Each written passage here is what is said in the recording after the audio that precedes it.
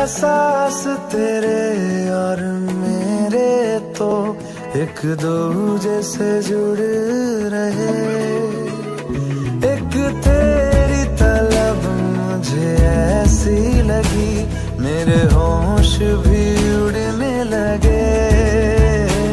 मुझे मिलता सुकून तेरी बाहों में, जन्नत जैसी एक रात